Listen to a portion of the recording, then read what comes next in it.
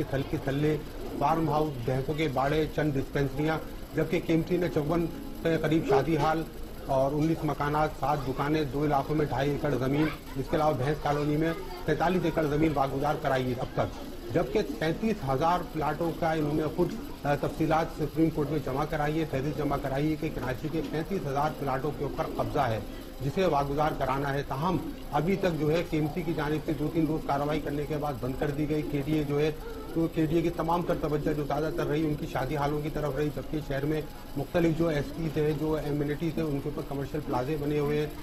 شادی ہال بنے ہوئے شاپنگ کمپلیکس بنے ہوئے دفاتر بنے ہوئے ان کو خالی نہیں کرایا گیا ہے۔ جبکہ اس کے علاوہ پندرہ دن کا ابھی ایک ہفتے پہلے جو آخری تمام سماعت ہوئی ہے سپریم کورٹ کی، اس میں کیمسی اور کے ڈی او کو پندرہ دن کی آخری مہلت چیف جسٹس صاحب نے دی تھی کہ پندرہ دن کے اندر شہر میں تمام تجاوزات اور تمام پارک کو خالی کرا لی جائے، لیکن آج آٹھ دن گزر چکے ہیں۔ نہ ہی کے ڈی اے کی جانب سے کوئی کارروائی کی جا رہی ہے اور نہ ہی کے ایم سی کی جانب سے کسی قسم کی کوئی کارروائی کی جا رہی ہے تاکہ ان کو واگزار کرایا جائے۔ یہاں یہ بھی بتا دوں کہ پینتیس جو ایک سال پہلے جب نومبر دو ہزار سترہ میں سپریم کورٹ نے احکامات جاری کیے تو دو مہینے میں کارروائی کرنے کے تو ٹیمسی کے جانے سے دو تین جگہوں پر ایک دو روز کارروائی کی گئی تھی۔ اس کے بعد انہوں نے کارروائی بند کر دی تھی۔ سندھ بلڈنگ کنٹرول نے عملی طور پر کسی بھی کارروائی میں حصہ نہیں لیا، جبکہ سندھ بلڈنگ کنٹرول کا ماتحت ادارہ ماسٹر پلان ہے، جس نے پلاٹوں کے، جو ہے، تبدیلی کی ہے اور ان کے لے آؤٹ پلان منظور کیے ہیں۔ اسی طرح کے ڈی اے کی جانب سے بھی جو ہے بالکل بھی کوئی اس طرح کا کام نہیں کیا جا رہا، صرف دکھاوے کے لیے کارروائیاں کی جا رہی ہیں۔ چند مخصوص جگہوں پہ جبکہ سرجانی ٹاؤن، کورنگی، لانڈی، ملیر،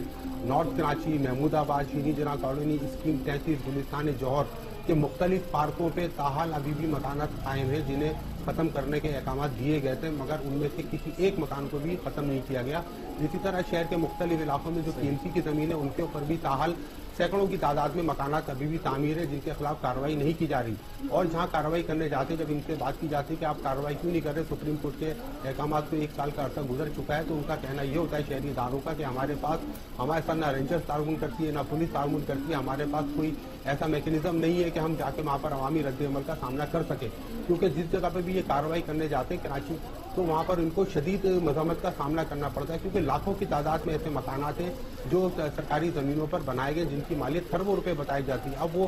ان کا کہنا یہ، جو مکین ہے، ان کا کہنا یہ کہ ہم نے یہ پلاٹ اپنے پیسوں سے خریدے کے لیے سے ہم نے جا کے اس کو ویریفائی کیا تھا قیمتی سے ویریفائی کیا تھا، تصدیق کیا تھا، اس کے بعد خریدے قیمتی ان لوگوں کو پکڑے کے لیے ان لوگوں کو پکڑے، ان افسران کو پکڑے، جنہوں نے ان پلاٹوں کو فروخت کرنے میں مدد کی ہم نے تو اپنے پیسے دے کے خرچ کیا، ہم نے یہاں پر مکانات بنائے ہوئے، دو دو تین تین منزلہ، ہم ان کو کیسے خالی کر دیں؟ جبکہ سپریم کورٹ بار بار جو ان کو متنبع کر رہا ہے کہ ہمارے لیے تمام سرکاری زمینیں خالی کرائی جائیں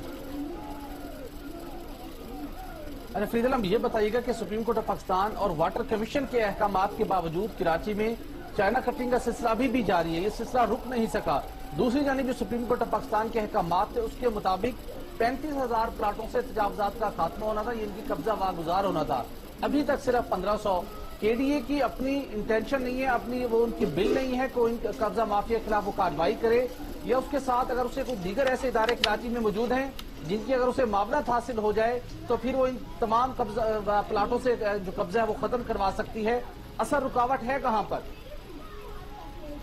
جی اصل مسئلہ، معاملہ یہ ہے کہ کیڈیا یا کے ایم سی کا کہ یہ اس لیے کاروائی نہیں کر پا رہے کیونکہ اب وہ آبادیاں بہت بڑی ہو گئی ہیں۔ ان کے کے ایم سی یا کیڈیا کے پاس کوئی قانون نافذ کرنے والے اداروں، ادارتی اختیارات نہیں ہے مجسٹریٹ کے اختیارات نہیں ہیں۔ اگر ان کو شہری انتظامیہ کے جانب سے مدد فراہم کی جائے تو ہو سکتا ہے کہ یہ پلاٹ خالی ہو جائیں۔ دوسری جانب یہ بھی مسئلہ ہے کہ کیڈیا اور کے ایم سی کے افسران نے خود مل کے یہ معاملات طے کیے تھے، سارے پلاٹوں کی خرید و فروخت میں ملوث تھے۔ اگر یہ مکمل طور پہ ان کو ختم کرنا چاہتے ہیں تو پھر ان کے اپنے افسران تک بھی بات آ رہی ہے۔ ان کے کالرز تک بات آ رہی ہے کہ ان کو بھی پکڑا جائے گا، ان سے بھی احتساب کیا جائے گا۔ کے ڈی اور کے سی جو ہے کہ افسران جو ہے مکمل طور پہ جو ہے اس سے میں غیر سنجیدگی اختیار کیے ہوئے اور بہانہ یہ بنایا جاتا ہے کہ اگر ہم اس مکان کو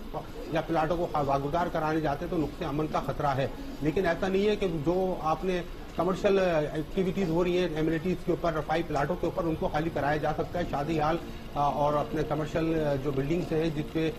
شاپنگ پلازے بنے ہوئے ہیں، دیگر آفیسز بنے ہوئے ان کو تو خالی کرایا جا سکتا ہے کیونکہ وہ رفائی پلاٹوں میں بنے ہوئے رہی بات اگر جو مکانات بنائے گئے ہیں، ان کو، ان کے لیے بھی باہر ہم نے بات کی، کوئی میکنزم بنا لے، کوئی ریلیف پیکج دے دے کہ اگر آپ خالی نہیں کرائے جا کر سکتے تو یہ جو پلاٹ ہے ان کی کھربوں روپے مالیت ہے اگر آپ ان کو کچھ ریلیف دیتے ہیں، ان سے پلاٹوں کی مد میں قیمت اگر سرکار لے لیتی ہے، تو آپ کے اداروں کا بران بھی ختم ہو سکتا ہے۔ لیکن جو ہے، وہ نہ ہی اس کی قیمتوں کی طرف آتے ہیں اور نہ ہی جو ہے آپریشن کرتے ہیں۔ کہ سپریم کورٹ اور واٹر کمیشن نے آخری اویسی سماج جو کراچی میں ہوئی تھی، انہوں نے پندرہ دن کا ان کو ٹائم دیا کہ شہر میں سے تمام تجاوزات کا خاتمہ کریں، فٹ پاتھ خالی کرائیں، پارک خالی کرائیں، لیکن ابھی تک چند جگہوں پہ مصنوعی اور نمائشی کاروائیاں کر کے سپریم کورٹ کو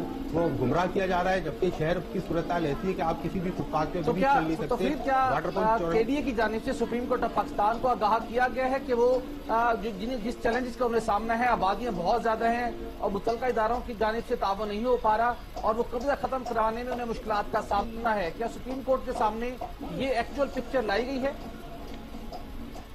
جی سپریم کورٹ کو تو مکمل طور پر گمراہ کر کے اور بہت ساری چیزیں بتائی جاتی ہیں کہ ہمارے ساتھ پرابلم ہے، ہمارے پاس مشینیں نہیں ہیں ہمارے پاس فنڈ نہیں ہے، ہمارے پاس اختیارات نہیں ہیں، ہمارے پاس مجسٹریٹ کے اختیارات ہمیں دلائے جائیں، پولیس اور رینجرس کے ہمیں تعاون دلوائے جائے۔ لیکن جب ان کو پولیس اور رینجر بھی فراہم کر دی جاتی ہے تو بھی یہ کارروائی نہیں کرتے کیونکہ ان کے اپنے مفادات ہیں۔ یہ تجاوزات اور یہ غیر قانونی جو پلاٹ شہر میں بنے ہیں گزشتہ بارہ تیرہ سال کے دوران میں تو یہ کے ڈی اور کے ایم کے افسران کی نجی بچت نہیں بنائے گئے اس سے پہلے یہ مکانات نہیں ساتھ ساتھ ایک سال گزر گیا لیکن احکامات پر سپریم حکم پر عمل کیوں نہیں کیا جا رہا؟ یہ بھی بہت بڑا سوال ہے۔ یہ خبر فرید عالم کی جو خبر ہے، کراچی میں جو قبضہ مافیا کے پاس جگہ ہے، اس کو بامداد کرانے سے متعلق روزنامہ نائنٹی ٹو نیوز میں بھی یہ خبر پبلش ہوئی ہے۔ آپ وہاں بھی اس کو پڑھ سکتے ہیں۔ ایک اور انتہائی اہم معاملہ ہے اور امریکہ میں تعینات پاکستانی سفیر علی جہانگیر صدیقی صاحب نیب، ان کو لے کر بہت سے معاملات میں تحقیقات کر رہا ہے۔ ایک اسکینڈل جو ایز گارڈ نائن اسکینڈل ہے۔ بٹی صاحب، اب نیب کی تحقیقات حتمی مرحلے میں داخل ہو رہی ہیں۔ ریفرنس کب تک آ سکتا ہے اور جو اب تک تحقیقات ہوئی ان میں کیا کچھ سامنے آتا ہے؟ فیصل، امریکہ میں تعینات، پاکستانی سفیر علی جہانگیر صدیقی کی جو کانٹریکٹ تھا، وہ پاکستان تحریک انصاف کی حکومت نے بالآخر ختم کر دیا ہے۔ اب ان کی کسی بھی وقت پاکستان واپسی کا امکان ہے، چونکہ اب آپ بطور سفیر ان کی جو خدمات سر انجام دے رہے تھے، وہ ختم ہونے کے قریب ہیں۔ نیب کی جانب سے گزشتہ جو تین مرتبہ نوٹسز جاری کیے گئے، انہیں نیب لاہور کی جانب سے کہ اس کیس میں کی شامل تفتیش ہوں۔ اس وقت چونکہ امریکہ میں مقیم تھے، لیکن انہوں نے اپنا جواب، وہ جمع کروانے کے لیے اپنے تحقیق شامل تفتیش ہونے کے لیے نیب لاہور میں پیش نہیں ہوئے۔ اب ان کے پاس کوئی عذر موجود نہیں ہے۔ اس کے ساتھ ساتھ وہ امریکہ میں جب موجود تھے، اس عرصے کے دوران نیب لاہور کی جانب سے ملکی طریقے سے کیپٹل مارکیٹ ایک بڑے سکینڈل کے، جس کے اندر نہ صرف سرکاری اداروں کو بلکہ نجی اداروں کو اور جنرل پبلک کو اربوں روپے کے نقصان سے دوچار کیا گیا۔ اس کی تحقیقات اب نیب نے حتم مرلے میں داخل کر لی ہیں اور نیب لاہور نے علی جنگی صدیقی کی کمپنیوں، ان سے وابستہ افراد اور ان کا جو کردار رہا ہے، اس سارے معاملے کے حوالے سے مختلف سرکاری اداروں اور پرائیویٹ کمپنی سے ریکارڈ بھی حاصل کر لیا ہے۔ اب حیران کن طور کے اوپر نیب نے جب اس معاملے کی تحقیقات کا آغاز کیا تھا ایسگر نائٹ سکینڈل سے متعلق، اس وقت بتایا گیا تھا کہ اسکینڈل کا حجم چالیس ارب روپے ہے۔ لیکن ہماری اطلاعات کے مطابق نیب نے اب جو مزید ریکارڈ حاصل کیا ہے اور اس کا جو، اس کا امپیکٹ جو ورک آؤٹ کیا گیا ہے یہ اسکینڈل چالیس ارب روپے سے بڑھ کر اٹھتر ارب روپے تک پہنچ چکا ہے۔ اس طریقے کے ساتھ اس معاملے میں قومی خزانے کو، سرکاری کمپنیوں کو، سرکاری بینکس کو، نجی بینکس کو اربوں روپے کے نقصان سے دوچار کیا گیا۔ اس کے اندر ایک بہت بڑا ایک پلان بنایا گیا تھا۔ اب اس سارے پلان کی جو دستاویز ہیں، وہ نیب لاہور کو موصول ہو چکی ہیں۔ اس کے اندر جب ہم نے اس ساری تحقیقات کا اس کا جائزہ لیا، دستاویز کا جائزہ لیا، اس میں دیکھتے ہیں کہ ایڈیٹر جنرل آف پاکستان کی جانب سے بھی سرکاری اداروں کو جو نقصان پہنچایا گیا، اس کی نہ صرف نشاندہی کی گئی، بلکہ بتایا گیا کہ S grid nine agri tech scandal کے حوالے سے جب